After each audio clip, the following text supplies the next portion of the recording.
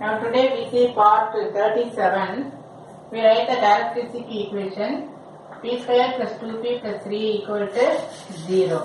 So multiply பண்ணால் three add பண்ணால் two அது நம்ம கண்டுபிடிக்க முடியாது ஸோ இந்த மெத்தட் இப்போ minus three plus or minus root of three square minus four ac by two a so minus b plus or minus root of b 4 direct editor minus 4 a into c is 3 then the whole by 2a 2 equal to minus 3 plus or minus root of 4 minus 12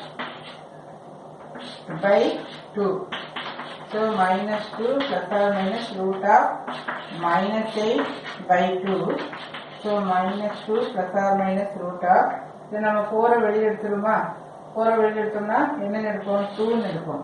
இந்த மைனஸுக்கு ஐ இருக்கும். இந்த இடத்துல root two அப்படி இருக்கும். இது வந்து four into two so into two உள்ளே இருக்கும். அந்த ஃபோரை ரூட்டை விட்டு வெளியே ஒரு two then the whole by two all the common two will be getting cancel so minus one plus or minus i root two so what is the complementary function b power alpha x theta beta x plus d sine beta x so this is equal to d power alpha is what one so minus x then c का beta is root two so root two x plus b sine इसको root two x So this is alpha and this is beta. So we check the answer for this complementary function e power minus x c cos root 2x plus b sin root 2x. So this one is correct. Now we write a particular integral equal to 1 by f of d into sin 2x sin 2x. So this is equal to 1 by f of t is what? d square plus 2d plus 3 into sin 2x. Now we have to replace d square by இந்த பொண்ணுக்கு இல்லையா இங்க minus போட்டுக்கணும் இங்க 2 square plus 2d plus 3 replace d square by minus a square. Get sin 2s. So this is equal to 1 by இது minus 4. So minus 4 plus 3 minus 1. So 2d minus 1 into sin 2s. Now we take the conjugate. So 2d plus 1 by 2d minus 1 2d plus 1 அப்படிங்கிறப்ப என்ன வரும் 4d square minus 1 plus sin 2s. Now again we are uh, replacing d square by minus a square. So 2d plus 1 of sin 2s by இந்த replace பண்ணோம்னா 4 into minus 2 square minus 1. அதே மாதிரி இந்த D வந்து differentiate பண்ணு.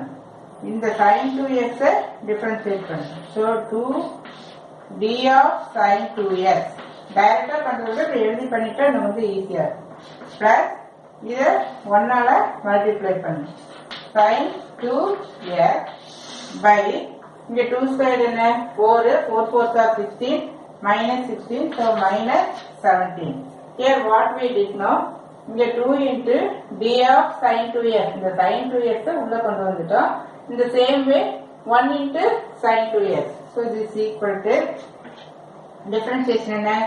Cos so cos two x into two plus sine two x divided by minus 17. So this is equal to 4 cos 2x plus sin 2x divided by minus 17 we check the answer for that here it is coming 1 by 17 mm.